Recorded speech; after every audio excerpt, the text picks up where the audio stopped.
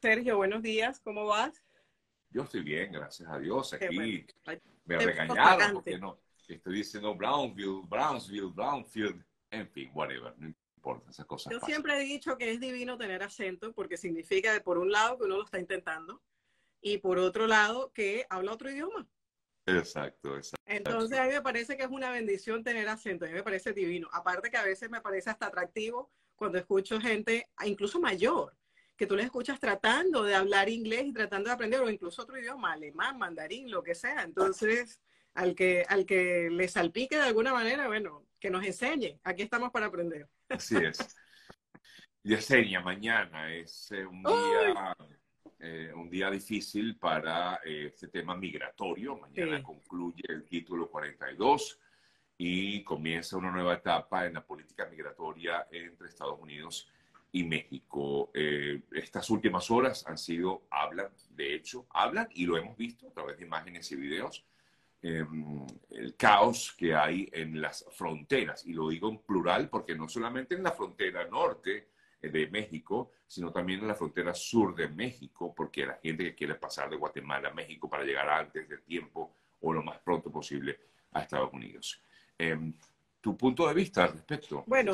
Yo tengo un punto de vista que más allá de un punto de vista, es un tema eh, que nos trae reflexión a todos, ¿no? Esta mañana justamente tenía yo una, una entrevista por la radio con un periodista venezolano, algo así como Román o Roldán, algo así, tiene un apellido como medio, Ro- medio Ro- alemán. Román lo sí, Ese, claro, colega. Sí, sí, esta Sí, mañana sí, tuve una sí, entrevista con él bien interesante, además Sí, sobre sí. el tema. Eh, te voy a decir en, en- en pocos eh, segundos lo que pienso. Hay una desinformación brutal que les va a costar a toda la gente que trate de entrar graves consecuencias, definitivamente. Te voy a explicar por qué. Hay una, eh, una, una rueda, ¿ok? Por allí de, de información que dice que la frontera va a reabrir.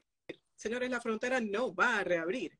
Les voy a explicar, el título 42 no es más que lo que les daba permiso, lo que le da permiso a Estados Unidos hasta mañana, eh, 11 a las 12 de la noche, a expulsar a aquel que trataba de entrar al país. Y esto fue, eh, eso, esto empezó cuando el gobierno, por razones humanita- eh, eh, sanitarias, a razón del COVID-19, determinó de que tenían que cerrar este tema. Entonces, se puso a dormir el título 8 y empezó el título 42. Mañana se desaparece o se pone nuevamente a dormir el título 42 y vuelve a aparecer el título 8. Señores, el título 8 es bastante coercitivo porque hay una diferencia entre expulsión y una diferencia entre expulsión y deportación. El título 42 te expulsa, el título 8 te deporta. Si el título 8 te deporta, significa de que si tú tienes, por ejemplo, si tú eres un, un venezolano o cubano, etcétera, de un país beneficiario del paro humanitario, y a ti te deportan, ¿cuál es el requisito número uno para no poder aplicar el paro Que humanitario? no. Haber sido deportado. Claro. Es lo número uno. Y yo, la verdad, me preocupo viendo a tanta gente que incluso tiene su parol humanitario pendiente. Ayer, justamente, una colega, la abogada Rosana Guillén, publicó que le acaban de aprobar un parol humanitario del noviembre. Es decir, sí están saliendo. ¿Ok? Entonces, ¿qué significa esto? Si tú tienes ese gran beneficio de entrar aquí con toda la tranquilidad, como por, por un medio aéreo y todo esto, y cometes el grave error de irte a la frontera y te deportan en base al título 8, tú no vas a poder hacer ya uso de ese, de ese parol humanitario o no vas a poder aplicar ese parol humanitario. Vamos a poner de que no eres de ninguno de estos países del parol humanitario, pero resulta que tienes un familiar aquí que te estaba pidiendo y eres un beneficiario del parol familiar.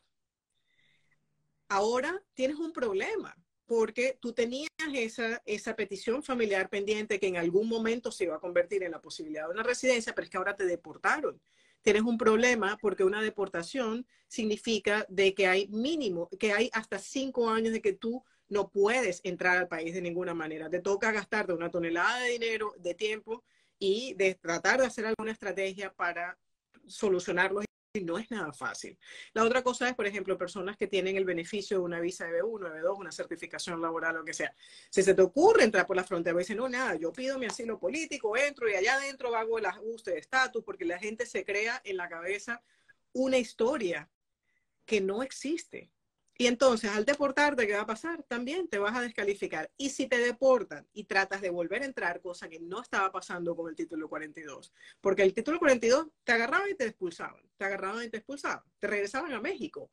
Ahora te va a regresar a tu país con una orden de deportación y si tú vuelves a entrar, puedes tener una penalidad de hasta cinco años de cárcel, porque viene siendo criminal.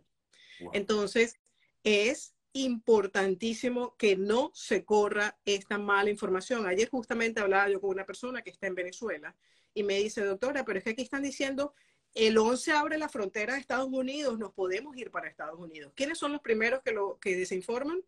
Los mayores interesados, que son los coyotes, las redes criminales, esta cantidad de gente que se dedica a pasar gente, a lucrarse. Esto es un negocio muy lucrativo para la gente que, pasa eh, inmigrantes por la frontera. Entonces tengan mucho cuidado. ¿Cuál es la manera más segura de hacerlo? El CBP One, el CBP One, la plataforma la volvieron a actualizar, está funcionando mucho mejor, mucho más organizada. Ya hay muchas personas con su tema de sus citas y todo. Vaya, aplique por medio del CBP One, vaya por los canales correctos y vas a tener tu fecha. Y si te escuchan tu entrevista del temor creíble y la pasas, puedes entrar y aplicar un asilo político. No corres el grave riesgo de que te deporten. Y los que no tienen nada, doctora, que es una gran mayoría, no tienen nada, están desesperados y por eso quieren acomodar lugar entrar justo antes de que concluya el título 42. Es que no van a poder entrar antes de que concluya el título 42, porque el problema es que los van a expulsar. Y cuando traten de entrar bajo el 8, que los entrevisten y no tengan la no pasen la entrevista de temor creíble, los van a expulsar de nuevo. Mira, yo veía este fin de semana una, yo no sé si tú lo has visto, Sergio, un documental que sacó un periodista americano eh, muy famoso en CNN sobre la realidad. Sí. Anderson Cooper. Sí, ¿Lo viste? Sí. Es brutal.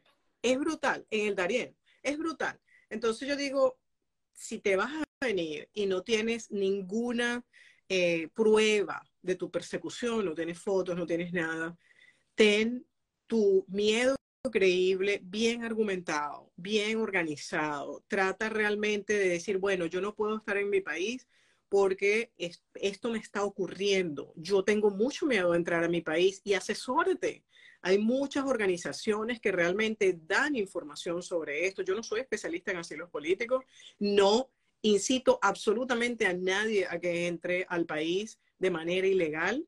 Sería absurdo realmente incitar a la gente a que ponga su vida en peligro y no solamente su vida en peligro, su futuro migratorio, porque tal vez tenías otras opciones y ahora esto te va a cortar todas las opciones por andar eh, desinformado, tristemente. Entonces, eh, las personas que no tienen nada...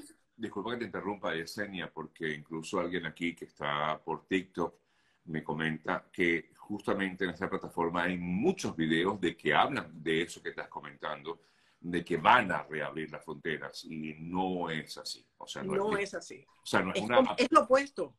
Para mí es mucho más coercitivo porque incluso no crea que el gobierno es tonto. El gobierno tiene todas las medidas. Ya hay más de 1.500 eh, oficiales enviados a la frontera. O sea, estamos hablando de que están realmente preparados para hacer un proceso importante de agarrar a la persona, procesarla y si pasa esa entrevista del temor creíble, si realmente Estados Unidos, señores, recuerden una cosa, cuando usted sufre una persecución y cuando usted tiene pánico, tiene miedo y usted no trae pruebas, a usted se le nota. Usted sabe defenderse entre un oficial de inmigración a como de lugar y usted es capaz de demostrarle que usted tiene un miedo fundado de una persecución futura o una, una persecución eh, pasada. Puede ocurrir de que tengas un caso muy bueno y definitivamente el oficial tenga la mente cerrada y no te quiere escuchar. Pero yo he tenido gente que ha hablado conmigo y me ha explicado las cosas que han vivido en sus países y realmente ni que trae, o sea, trayendo todos los documentos del mundo, a veces ni siquiera es necesario, porque si tú tienes realmente un caso que tú puedas explicar, que ese oficial se pueda ir al detalle y tú se lo puedas explicar lo que sufriste, lo que sentiste, lo que sufrió tu familia, qué pasó, por qué saliste, Eso, eso, no lo, eso no lo puede combatir nadie. Eh, te comentan si deportan a una, o preguntan si deportan a un colombiano, a una persona a Colombia como colombiano puede volver a entrar. Es igual, pasa con cualquier nacionalidad. No hay, no hay temas de nacionalidad. Incluso les digo a los colombianos, cubanos, haitianos, venezolanos que estén organizándose para entrar. Señores, hay medidas migratorias que este país antes no las había dado. No teníamos esas opciones. Hagan uso de eso, beneficiense. Claro, claro. Eh, una persona que entró normal por el aeropuerto y la eh, deportan y vuelve a pasar por la frontera, ¿qué pasa? Que no la van a dejar pasar. No te van a dejar pasar. Si te, si te removieron del aeropuerto, primero tienes que ver qué tipo de remoción te dieron. Si te cancelaron la visa y te regresaron, si, si eso constituye una deportación o sencillamente que no te permitieron la entrada y te regresaron, como es que se supone que él le pasa a la mayoría de la gente. Pero generalmente no te van a Seguramente, discúlpame Yesenia, seguramente muchas personas van a intentar cruzar de forma ilegal y quieren y pretenderán estar aquí en el país eh, de esa manera ilegal. Pero si usted no se presenta ante una oficina de inmigración, pues es considerado ilegal y es peor su situación. Correcto, correcto. Es así. Porque es que, claro, muchas personas están, digamos, con este tema de la, de la, de la desesperación de, de poder entrar. La otra cosa que, que, quería comentar es que hay mucha gente que dice, es que yo me tengo que ir a Estados Unidos, pero no tengo trabajo en mi país no tener trabajo en el país, eso no constituye una persecución política, una, una razón de peso para entrar a Estados Unidos de manera ilegal, ¿ok? O sin autorización. Este, el no tener trabajo puede ser una razón humanitaria, bueno, tengo hambre, le tengo que dar de comer a mis hijos, lo que sea, y necesito trabajar. Pero el no tener trabajo o la delincuencia, es que me robaron en la casa tres veces y yo así no puedo vivir, esas no son razones para pedir un asilo político. Sí es. Voy a abrir los comentarios nuevamente, los cerré para que pudiéramos esbozar un poco todo este tema. Y ahora, pues, permitirle a ustedes que hagan sus preguntas y vamos a tratar también de eh, darle cabida a por lo menos tres personas que estén de aquí en, el programa vía Instagram para que también participen como tal eh, en el programa. ¿Qué podemos hacer si el parol de noviembre no ha sido aprobado ni desaprobado? O sea, no tienen información de Esperar un poquito. Sí esperar un poquito, han, han estado saliendo, realmente han estado saliendo, poco a poco. Es un tema de paciencia. Eh, soy venezolana con TPS aprobado, mi hija nació en Guatemala, también tiene nacionalidad italiana. Eh, ¿Tiene alguna posibilidad de estar legal en el país en algún momento? Pues mira, si eres venezolana, eh, tú puedes incluir a tu hija, por ejemplo, cuando estás entrando, o sea, cuando tú haces, por ejemplo, un asilo político. Esta persona, disculpa que te interrumpa, Yesenia, tiene TPS aprobado. Eso significa que debe estar aquí. En el, Exacto, eh, debe estar aquí, definitivamente, y asumo de que la hija está aquí. Si la persona está aquí tiene un TPS, ¿ok? Y la persona que está hablando de que tiene el TPS tiene, por ejemplo, un asilo político, el hecho de que su hija tenga nacionalidad, eh, nació en Guatemala y tenga también nacionalidad italiana, no la excluye de poder ser una beneficiaria de su mamá. Entonces puedes incluirla en tu asilo político y allí la vas a meter de alguna manera en un beneficio migratorio. Ok. Eh, a mi hija le salió cita para el 22 de mayo. ¿Puede ingresar por frontera? ¿Cita para qué? Sí, que yo les pedí que le dijeran completa la información. El problema es... Imagínate de ser la cita de CBP One. Si es la de CBP One, no entres por frontera, ve a tu cita en, en bueno, 7 de mayo ya pasó, o será 17 no, 22 de Ah, 22 de mayo. Ve a la cita. Si tienes la cita, buenísimo. Ve a que la hija salga, no te, no vayas a atravesar por la frontera sin esa cita. Ve, en, infórmate bien, arma realmente ah. tu, tu, tu, historia, tu narrativa para que le cuentes al oficial con congruencia ¿ok? Todo lo que te ha sucedido, todo lo que le ha sucedido a tu hija, y entonces allí vas a entrar organizado, porque el hecho de entrar ahora, lo que tal vez te puede hacer es que con la cantidad de gente que va a querer entrar, más allá del 22 de mayo, tal vez te la atiendan dentro de dos meses, y en esos dos meses, quién sabe cuáles van a ser las condiciones, ¿no?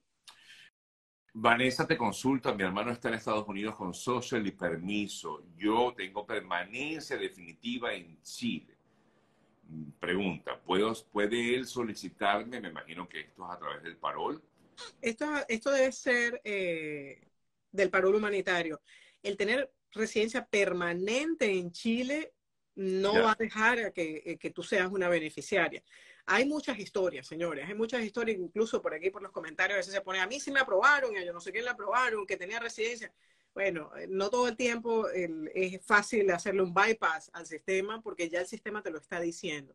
Y el problema es que si tú tienes una residencia permanente en Chile, tú entras a Estados Unidos con un parol humanitario. Recordemos que el parol humanitario no te da residencia permanente. Lo que te da es un parol, un permiso temporal para estar en Estados Unidos. Entonces, ¿qué pasa? Si llegas aquí y dices, bueno, yo ahora quiero aplicar un asilo político, porque tengo razones para aplicar un asilo político. El haber tenido una residencia permanente en Chile te va a traer consecuencias a la hora de tener ese asilo político aquí.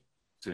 Y por otro lado, la persona que en teoría serviría de sponsor tiene que tener un estatus aprobado. Y en este caso, por lo que entiendo, comentaba la persona, tenía un permiso eh, aprobado y social, pero esto no lo garantiza como, como sponsor, ¿correcto, Yesenia?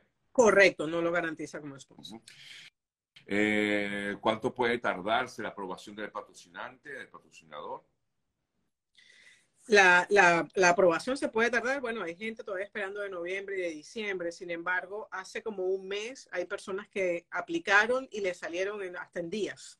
Entonces, no hay un número exacto de tiempos. Si soy ciudadano americano, puedo pedir a un hermano mayor de edad cuánto tiempo tarda en aprobarse esa residencia. El ciudadano americano puede pedir al hermano, sea mayor o menor de edad, eso es indiferente. El tema de las edades es para los hijos, no para los hermanos. Sin embargo, las peticiones de ciudadanos americanos a sus hermanos se demora en promedio de 13 a 14 años. Eh, mi madre se hizo ciudadana americana, me puede pedir y cuánto dura. Bueno, un poco lo que estás diciendo, dependiendo de la. Esa es más rápida. La de una mamá ciudadana americana es más rápida si la persona, eh, si el hijo de esa mamá tiene más de 21 años, se le puede demorar unos cuantos años. Se puede demorar 5 años, 6 años, depende, pero definitivamente es mucho más corto que el caso de los hermanos. Así es, así es. Eh, comentan aquí, mi esposo fue a renovar su visa en Bogotá, se la negaron por eh, una usurpación de identidad, dice esta persona. ¿Qué puede hacer para demostrarle a la embajada que él no es el que dicen que es? La, verdad, no sé, yo no soy especialista en visa de turismo. Este, yo les diría, vuelvan a aplicar, pero antes de aplicar, traten de ver cuál fue la usurpación. O sea, qué, fue realmente lo que pasó, porque si vuelves a aplicar sin ver realmente qué es lo que hay en el récord de la persona, te van a volver a negar. Claro, claro. Eh, voy a darle cabida a por lo menos eh, tres personas que quieran hacer sus preguntas directamente a la doctora. Eh, si quieren, bueno, nada, levanten la mano por aquí por Instagram. No lo puedo hacer por TikTok porque, bueno, tengo como que se me complica la cosa, pero sí por, por Instagram. Es un tipo y... tecnológico, Sergio. ¿Ah? Bueno, es un tipo muy tecnológico. bueno, uno intenta, aunque también pueden preguntar por TikTok, pero claro, me gustaría que fuera directamente, que la propia doctora lo vea directamente, ¿no? Eh, ¿Qué tan recomendable es extender la visa de turista? Extenderla, bueno, si quieres continuar entrando y saliendo del país con, una, con un estatus de turismo, puedes hacerlo perfectamente. Lo que sí les digo es que las personas que eh, están haciendo un paro humanitario, por ejemplo, esa extensión no se la van a aprobar. Porque ya tú le dijiste en migración cuál es tu intención de venirte a Estados Unidos. Ya. Bueno, aquí estoy a ver si tengo la primera persona que eh, está aquí. Ahí está. Daniel se llama, quien eh, nos contacta a esta hora. Daniel, buenos días, ¿cómo estás? Buenos días, Sergio. Buenos días. Adelante, hermano. Daniel, mucho gusto. Gracias por el espacio. No, bueno, rapidito para no enfatizar aquí, este, con respecto al paro humanitario, yo espero desde noviembre. Quisiera saber cuáles son las vías para poder hacer un ajuste de estatus eh, una vez tenga esos dos años dentro del país. Tengo entendido que tengo dos años para estar por el parol, pero entiendo que usted es especialista en EB2 en interés nacional, en habilidades extraordinarias, pero ¿cuáles son las que más puedo yo recurrir? Y sé que es algo que debe activarse la persona una vez gente si quiere permanecer en, en Estados Unidos. Tiene, estás completamente en, en, lo correcto. Eh, las personas tienen que pensar en cuál va a ser la estrategia migratoria o las opciones migratorias para poder quedarse en el país. Las visas EB1, EB2, EB3 no te permiten hacer una, un ajuste de estatus adentro del país con la admisión bajo el parol humanitario, porque bajo la sección 245 de la ley de inmigración no está permitido. O sea, esa admisión no, es, no constituye una admisión para esos fines, constituye una admisión para otros fines. Sin embargo, este, si eres beneficiario de un parol humanitario, puedes realmente explorar las opciones del asilo político. Entiendo que el asilo político eh, está, es muy demorado en el país, es, eh, ¿sabes? bastante dramático el, el, porcentaje tan bajo de aprobaciones de asilos políticos, pero eh, sería el único que realmente te podría permitir, sin salir del país, llegar a la residencia en el caso de que te lleguen a aprobar. Ahora bien, si tú, por ejemplo, tienes un familiar inmediato que te puede hacer una petición familiar y puedas eventualmente, dentro de dos años, tres años, cuatro años, llegar a la residencia por medio de esa petición familiar, la admisión por entrada por parol humanitario sí te puede permitir llegar a la residencia por ahí. La otra cosa que te puede hacer, pero es que, pero no con esa admisión, es, por ejemplo, si haces una EB1, EB2 EB3, puedes, puedes llegar a residencia, pero con la entrada con parol no puedes hacer el ajuste aquí adentro. Puedes, con, tu, con tu aprobación, puedes hacer un proceso consular y luego entrar al país ya con la residencia, pero no te va a permitir hacer el ajuste aquí adentro. Muy importante eso, doctora. Está muy bien. Muchas gracias, Sergio. No, gracias, doctora. el espacio que hacen es muy agradable para todos. Qué bueno, qué bueno. Gracias. Gracias, por, por contactarnos. Un fuerte abrazo.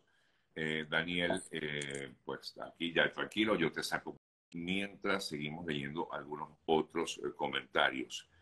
Ya va, que tengo aquí un comentario, pero no lo leo bien. Bueno, vamos a seguir leyendo más bien por aquí. Me casé hace cuatro años, me separé sin divorciarme hace un año y aún tengo, ahora me quedé fly porque no concluyó el comentario. Estaba interesante, estaba un poquito, porque puede ser interesante. Para los que preguntan sobre el boletín de visa, no ha salido el boletín de junio, no sabemos todavía. Ok. Eh, el, el boletín de junio. Sí, el de junio no ha salido aún. Ok. Eh, ya va, discúlpenme, discúlpenme. Nelly, Vamos a buscar a Nelly, que está por aquí, a ver si le damos cabida a ella. Eh, ya va, un segundito. Ok, Nelly, vamos a ver tú si eh, tienes chance de hablar y hacer tu consulta a la doctora. Ahí está Nelly, buenos días. Ay, ya voy. Te, lo tengo al revés. La cámara, Sí. los pies. Okay. Sí. Ahora sí. Disculpe. No se preocupe. Eh, buenos días, desde acá. Buenos días, cuéntame.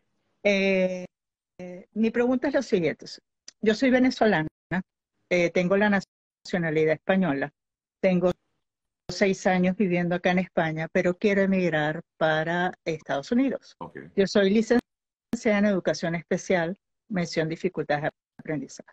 Yo le escribí un mensaje a la doctora y, para ver cómo tramito yo esa, esa, eso que quiero, si lo hago desde acá, desde España, si tengo que estar allá para hacerlo, eh, eh, eh, cómo ponerme en contacto con ella directamente para... Perdóname que te interrumpa, Nelly, para ayudarte un poco a construir la idea. Lo primero que tienes que hacer es mandarme, por lo menos para que yo lea tu currículum completo. ¿sí? Todo lo que has estudiado con fecha de inicio y culminación, los empleos que has tenido, si has escrito algo, si has diseñado currículums escolares, qué has hecho, qué has logrado como, como licenciada en educación. Incluso creo que en mi próximo live, el que estoy haciendo eh, yo sola, que ya para no, para no quitarle eh, a mi querido Sergio, a los, a los licenciados en educación, lo pasé para los 12 al mediodía. Entonces, no, mentira. Este, creo que va a ser un live justamente dedicado a esto de los licenciados en educación.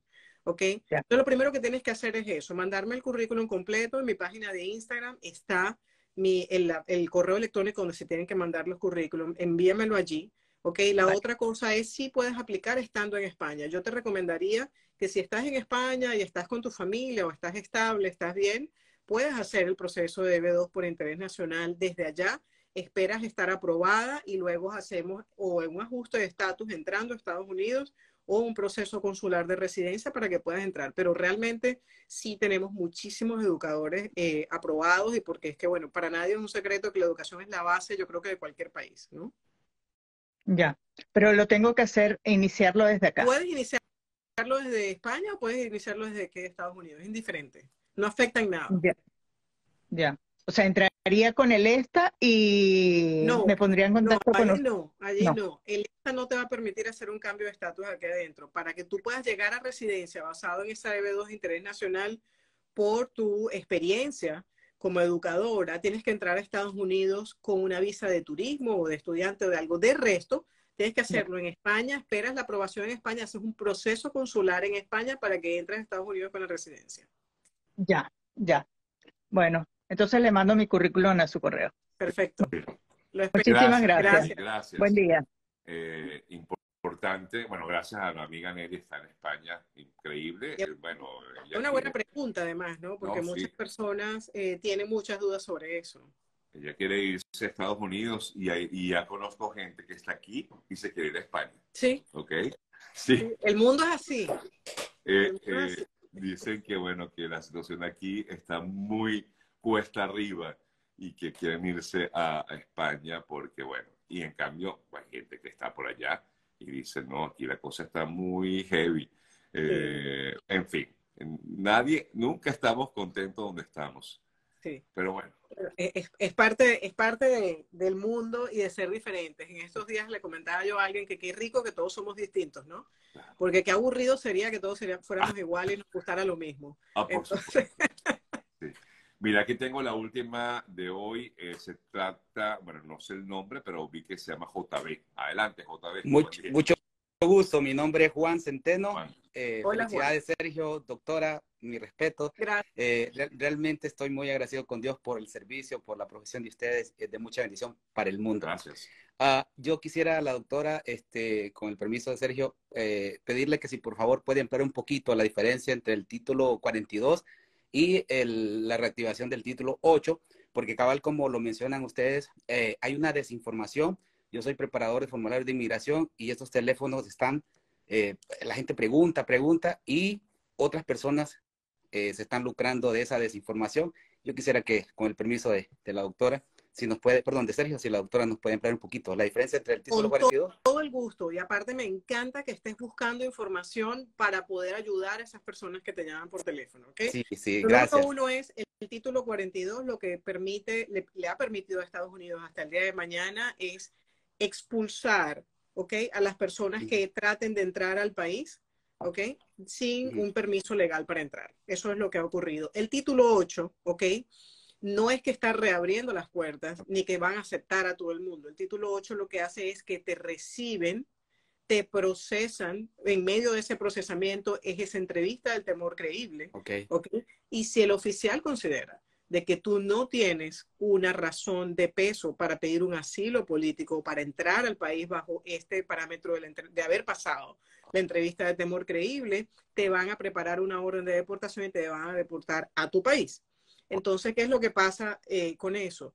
Lo que pasa con eso es que si a ti te deportan, tú tienes una penalidad de cinco años que tú no puedes reentrar a Estados Unidos. Si tú tratas de reentrar a Estados Unidos, eh, dentro de esos cinco años puedes tener cárcel. Te puedes tener una pena de cárcel de hasta cinco años porque ya te deportaron.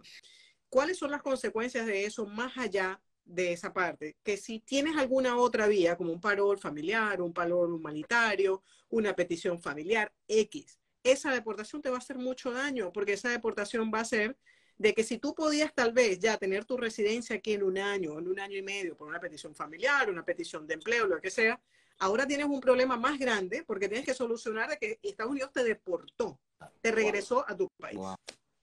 Juan, ¿dónde estás tú? Yo estoy eh, desde Atlanta, Georgia. Ok. Ah, y, las personas te, te, hacen esta pregunta o te, comentan qué es lo que te dicen? Sí, realmente, eh, gracias a Dios, la comunidad ha crecido, me he dado a conocer eh, por diferentes plataformas y la comunidad, por ejemplo, es, que hay dos cosas bien, bien eh, drásticas que no, si me dan el permiso lo amplío. Eh, resulta que Georgia está reportando un gran porcentaje de personas indocumentadas que están emigrando del estado de la Florida para Atlanta, Georgia. En ese sentido, eh, personas que recién llegaron y obviamente pues tienen familiares y amigos que están en frontera. Usted, Sergio, mencionó algo muy importante que la gente está ignorando y es que en la frontera sur entre Guatemala y, y México, especialmente en Tapachula, hay una gran cantidad de inmigrantes, caravanas que van, creo que van por Monterrey o Ciudad de México ahorita, por esa desinformación y ellos consideran que la frontera está abierta, precisamente por lo que hablaba usted de inicio, que eh, hay personas que, bueno, que se están lucrando de eso y es un negocio. Entonces, estas personas nos contactan, eh, obviamente conocen que estamos en el medio y preguntan, ¿es cierto que la frontera está abierta? ¿Es cierto que ahora que el título 42, que el expresidente bueno, que usted ya conoce, eh, lo activó y esto y lo otro, y empiezan a creer que el título 8 eh, es mejor que el 42. Entonces, estos teléfonos que le menciono están reventando, preguntando, ¿está abierto? ¿Está abierto? Personas que yo están... Te recomiendo, yo te recomiendo, José, decirle a las personas, vayan y apliquen por medio del CBP One. Tú que, que tienes muchas personas que te siguen, hacer luego como un pequeño segmento de esta pregunta y publicarlo. Yo lo repostearía también. Claro, claro. claro, claro. Esto lo puedes hacer. Igual yo voy a, ella, la doctora, al comienzo del programa, cuando empezamos a hablar, lo explicó muy bien y yo voy a tratar de tomar ese extracto Correcto. para también dejarlo, pues para que la gente esté lo más informada posible. Pero, por supuesto. Hay una caravana aproximadamente, si no me equivoco, de 25 mil personas. Son varias las que han salido, según me informa un contacto eh, en Tapachula, México, que va camino a Frontera Sur y la licenciada, eh, la abogada, la doctora lo, explicaba, la gente desconoce que eh, toda la fuerza de seguridad nacional se está moviendo para allá para evitar, cosas que nunca se había visto. Entonces, esas personas, como bien lo decía la doctora, tienen que tener este tipo de información correcta para que en el momento que lleguen hagan la gestión correcta. Porque la, gente dice, perdón, me entrego y piensan que entregarse es así. Y me encantó porque la doctora explicaba la diferencia. Ahora si te entregas y no tienes un sustento del miedo creíble, vas con deportación, 5 o 10 años. Este, y eso fue lo que me encantó y espero, espero que esto sea de bendición, que lo pueda ver muchas personas. Fuerte abrazo, Juan. Muchas gracias, a usted. Dios le bendiga. Amén. Amén. Gracias. Bye bye. Bueno, interesante también que hay otras personas, eh, Yesenia, que, bueno, que se mueven, digamos, dentro del área, quizás no son abogados, no son eh, paralegales, pero están eh, tratando de orientar a otras personas. Lo importante es eso, que estén enfocados en, en, orientar bien, en tratar de informar a la gente y no tratar de hacer, de lucrarse de, este, de esta información para desinformar y no les importe el, el, el bienestar de las personas que están eh, ¿sabes? Con, este, con esta necesidad, que, que, entiendo perfectamente, ¿no? Pero hay que hacerlo, hay que hacerlo bien hecho, si no, no lo hagamos. Así es. Te agradezco muchísimo, de verdad, eh, Yesenia, el haberme permitido, como siempre, conversar contigo. Bueno, estamos muy pendientes de lo que pueda, bueno, lo que pueda, no, al final se cierra esto mañana, concluye mañana, eh, posiblemente vaya a haber mucha información generada desde las fronteras. Y, bueno, estaremos pendientes, esperamos que no se genere más caos, es lo que esperamos. Correcto. Eh, pero con la presencia policial, pues pudiera, eh, o por lo menos eh, haber noticias, ¿no? No sabemos de repente qué tipo de noticias puedan generarse por ahí. Sí. Gracias. Bueno, feliz día a la doctora Yesenia y a Cona.